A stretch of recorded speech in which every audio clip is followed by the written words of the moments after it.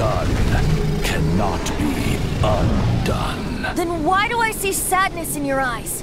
Sadness that speaks of your yearning for this song. We are communicating. Huh? No! Don't get bored! Do not be fooled by him, dear dragon. He loves you he attempts to deceive you once more.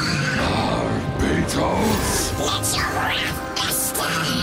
Mondstadt has already turned its back on you. You! You were planning this all along to have me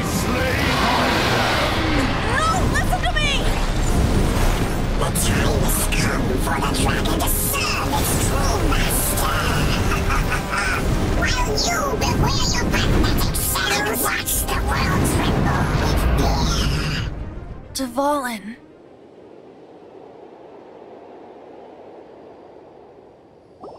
Barbe... Venti, please, be careful. You've known my true identity for some time now, haven't you, Jean? Though, I thank you for continuing to use the name Venti. How's the Holy Lyre? Can it still be played, or does it need to be repaired?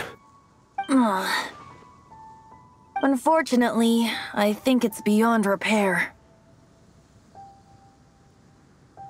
You're right. If we don't fight the evil at its source, then we can't save Dvalin at all. In which case, I shall call upon Outrider Amber to track it down. No need. Why is that? I eradicated one not long ago, in one of the Four Winds temples.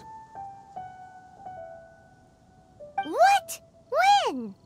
If you want to track those monsters down, then I'll seek answers from my contacts. I've got other means for getting the job done. Diluc. Though he dislikes the Knights of Favonius, he protects Mondstadt in his own way. Oh? Why does our little Paimon sound so doting all of a sudden? Wait for my word. I'll be sure to let the Abyss Order know that their blatant disregard for Mondstadt will not go unpunished.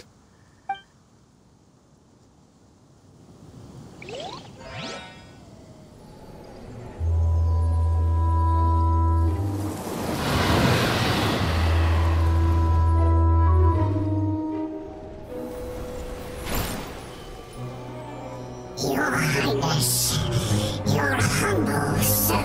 returns. When your homeland returns to this world, we shall revel in its glory.